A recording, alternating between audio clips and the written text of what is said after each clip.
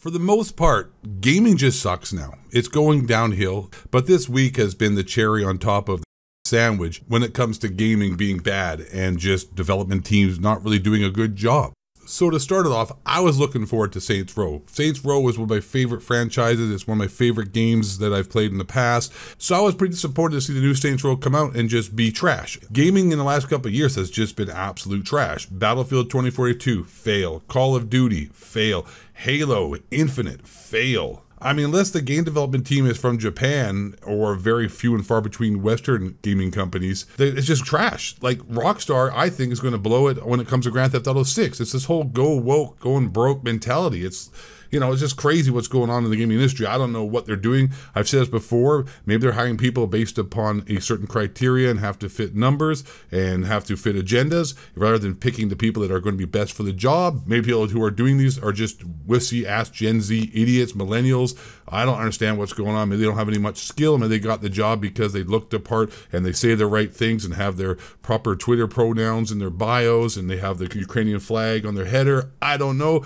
Maybe that's what they worry about when they hire people now, not hiring competent people. And if that's the case, damn man, uh, the world might be going to hell in a handbasket, as they said back in 1920s for a boomer reference there. So first off, like I said, it's been a pretty bad week in gaming, and gaming in general seems dead to me. Saints Row, go woke, go broke, trash, horrible, not a good game, glitchy, buggy. No one who's reviewed it has said it's been any good.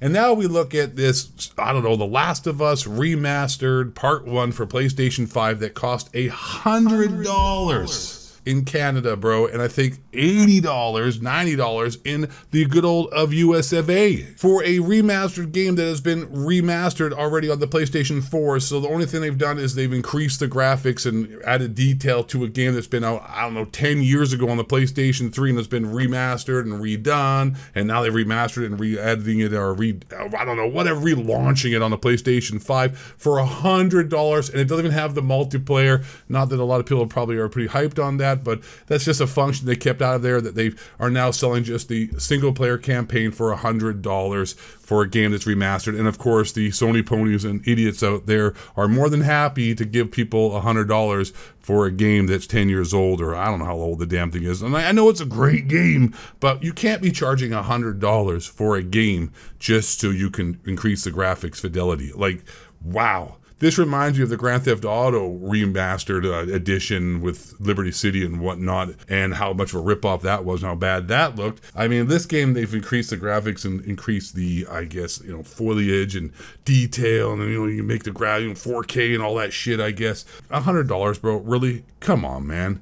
It's just gaming is so disappointing. And the people who are making the games just don't seem to be doing a very good job. And it just seems they're inept. And gaming as a whole, outside of uh, Japan, who seems to be making great games like Elden Ring and Ghost of Tsushima. And I mean, like I said, Rockstar is a hell of a gaming development team. But I surmise that Grand Theft Auto 6 is going to be the biggest disappointment in the series. It just seems that way, right? I just, the writing's on the wall. They've talked about making it more inclusive and they've already started editing and taking things out of the game that don't fit into the whole left agenda and oh, you got to have the pro, you know, it just, it's, I, can't really go into it into detail too crazy here. I'd like to go off King, as they say, you know what I'm saying? Kings and shite. But bro, come on, man, this is a joke. Another thing too, I want to say here, like right, like I, I don't like the whole left, far left thing happening right now. And you know what? You can make fun of, or you can be critical of what liberalism is nowadays without being a right wing person, or without being a Republican. You can be critical of liberalism and what it is now because I used to think I was like left wing back in the day. I used to think like, yeah, free speech and respecting people's wishes and respecting people's opinions and different lifestyles and no one telling you what you can and can't say, free speech, allow music to be done. It was always the right trying to like censor music like heavy metal and gaming. It's always the gamer's fault. But now it's flipped the switch and now left has just gone off the deep end. And of course the right is following suit in certain aspects of their ideologies. So it's just nothing but a shit show. And I think that is trickling down into other parts of society. And we're seeing that with entertainment and gaming. And that is maybe perhaps why gaming sucks. The big one right now is because it's just too political and it's just too many insane people. And this is also trickling down into entertainment. Most movies are just babbling, driveling, agenda pushing, political pushing nonsense equality and representation, forced representation, so it looks corny and stupid and doesn't fit the plot. And then these people get all upset that, oh, there's backlash because, you know, certain such and such persons of ethnicity or culture is in this role. And all these people are, you know, they are, you know, I can't even say the word because I'll probably get smacked here with the YouTube algorithm. But, you know, the R word, oh, yeah, you're that kind of person. Oh, my God, yeah. And you're this person, oh, you're, you're. Oh, yeah. Oh, you know, the whole freaking rhetoric comes out that is no, no, no, we're not. You're forcing an issue and it looks stupid. It's like they want to control you and not let you speak back towards them. It's like with the whole thing in the last two and a half years, science and the discourse of science is dependent upon being challenged. That's what science is. You have to be challenged constantly and continuously prove that your theory or your numbers or your math or your conclusions to your studies line up because over the history of time, things change. Things that we thought were real back in the day, things that we thought were scientifically facts back in the day have proven to be fallacies and things that we thought worked, i.e. depression and serotonin, low, low serotonin, and we're going to give you MR, Prozac and whatever, man. It's going to make you feel feel better ends up being a fraud. That's in the you know medical journal now. That's in the psychology journal. That is a consensus upon doctors. But you know, 50, 30, 40 years ago, they tried to convince us that smoking was good because doctors were getting paid by the tobacco industry to push smoking and it was healthy. And then they also, one thing too, which is a misconception, the sugar industry paid doctors and other people in the media to say that fat's bad for you and sugar is what actually is good for you. It's the fat that's going to give you a stroke when it ends up being that sugar is the bad thing, is actually the killer. And fat is actually not bad for you in any way whatsoever. And there is no link between fat and increased cardiovascular disease. But there's a huge link between sugar and diabetes and overweight and obesity that leads to to cardiovascular disease and also premature death. But you know, hey, well, people still believe that actually because they haven't quite got clued in on it because they're still pushing that agenda. But if you got a brain, which most you guys do because you're subscribed to this channel, so therefore you have to be a highly intelligent individual to make that decision. So congrats to you. You have passed the litmus test of being a smart person by being here watching this video and subscribing. And if you haven't subscribed right now and you're watching this video, hey, don't be a dummy.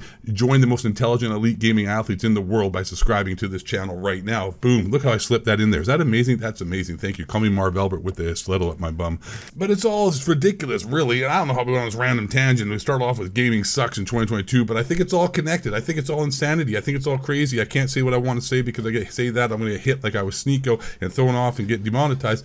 But what I want to say is that this has been a really disappointing when it comes to gaming entertainment. There's very few shows and movies and games that are actually good and fun that aren't pushing some political ideology down your throat, lecturing you on how you're supposed to behave, even though we all are doing very well behaving. Thank you very much. We're all nice people. Kumbaya, hold hands. Off we go to Bohemian Grove with Alex Jones. But the majority of people are sick and tired of this shit. It's very rather obvious. The number one most successful movie this last year was Maverick because it didn't have any nonsense. It was just fun. It was just an awesome movie. They come in there with their super F 14, F 15, F 16s. I don't know what they're flying, but they are awesome pilots and they're puking in puke bags and they're making amazing movies and it's exciting. And Tom Cruise is like, hold the G's, and these guys are like crazy. And then there's some Chinese girl in there who got paid, but she's not really actually that much because China has a huge infiltration and influence in Hollywood. So I don't know if you knew that. You might want to go back and look at that. But there's a Chinese person there, and I imagine the Chinese release movie has her playing a bigger role. They do that. They change skits around and scripts and change the plot around the movies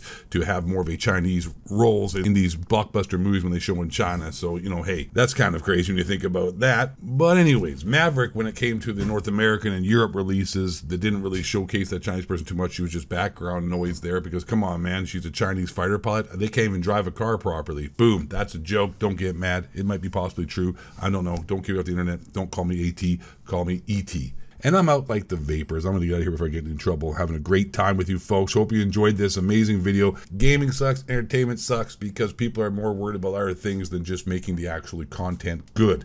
That's the long story short. Thank you for watching. I'm not eight thoughts. And last but not least, and most importantly, my pedigree chums, you got to do one thing. You know what that is? I know what that is, eight thoughts. Subscribe and smash that like button. No, that's cool. I appreciate that. But you got to stay black, question, throw it in the tongue, crack to shoot, shoot, shoot, harm, shoot, not judge, rush, something, the house of fact, mistake, on some six, for the White man, bring it down. Peace out.